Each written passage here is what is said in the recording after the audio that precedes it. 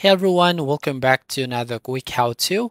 In this video, we're going to show you how you can use 20 USDT coupon on Bybit. First up, open your browser and then go to bybit.com. And here, make sure that you sign in with your account. Now, if you don't have an account yet, you just need to sign up using your email. Once you sign up, go to your profile icon at the top right. And here, you just need to click on My Rewards. Once you click on my rewards, then you'll be taken into Rewards Hub. And here as you can see the uh, coupon, which is 20 USDT as a welcome gift. So you just have to click on the claim button right from here. And then here, as you can see, claim successfully. So you're going to use this one. Click on use button.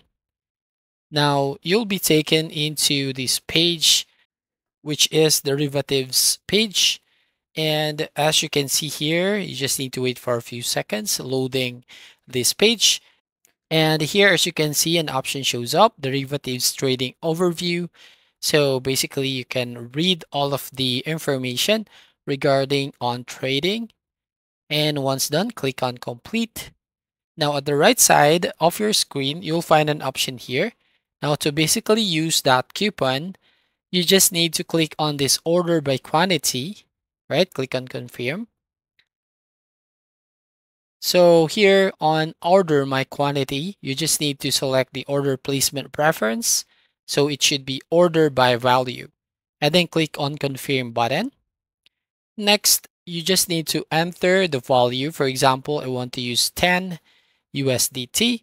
And then once done, you just have to click on buy long and then you just have to confirm your action. So basically you have just used your 20 USDT coupon. So you can use up to 20 USDT that has been given to you. So that's all. Thank you for watching. Please like and subscribe and see you in the next video.